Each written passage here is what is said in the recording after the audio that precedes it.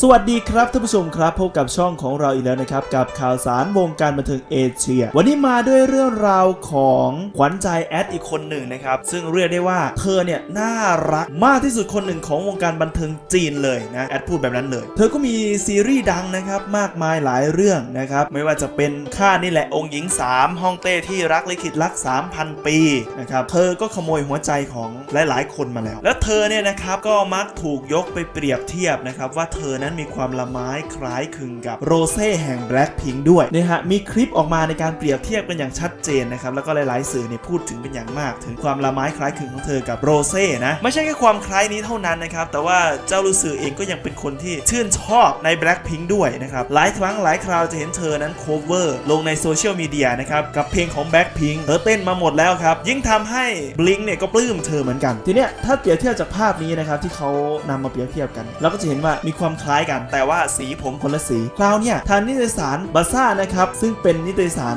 ชื่อดัง ก็ได้นำเธอนะมาถ่ายแบบครับนำจ้าวลู่ซือเนี่ยมาถ่ายแบบ และดูนะฮะเธอมาในลุคผมสีคล้ายกับโรเซ่เลยครับนะแต่มีความหน้าม้าหน่อยๆนะครับซึ่งผมมองที่แรกเฮ้ยตกใจนึกว่าโรเซ่มาเองดูแต่ละภาพสิครับแล้วก็มีการอธิบายเพิ่มเติมด้วยนะครับถึงภาพภาพนี้นะครับที่มีพื้นหลังสีชมพูเนี่ยบอกว่าฉากหลังเนี่ยเป็นสไตล์มินิมอลแล้วเธอก็เท่มากๆนะเธอดูมีเอกลักษณ์แล้วก็สายตาของเธอเนี่ยพิชิตใจคนมองเป็นอย่างยิ่งนะครับ เธอกำลังมีสมาธิและส่งต่อความรู้สึกเล่าออกมาเป็นเรื่องราว เธอยังคงเป็นเจ้าคนน่ารักที่มีความหวานฉ่ำแสนดื้อนะครับ แต่เพียงวินาทีต่อมาเพียงแค่เปลี่ยนสายตาเท่านั้นลุคของเธอก็เปลี่ยนไปเป็นสาวพลังอย่างฉับพลันนะ แต่แม้จะทำให้พังแค่ไหน ผมก็ยังมองว่าเธอนั้นดูน่ารักแบบละมุนอยู่ดีนะครับ แล้วเราลองเอาภาพมาเปรียบกันนะครับ เปรียบเทียบกันเนี่ยก็คล้ายกันจริงๆนะครับ จนหลายๆคนเนี่ยนำไปแซวว่านี่เป็นสมาชิกคนที่ 5 ของแบ็คพิงชื่อว่าโรซี่นะครับ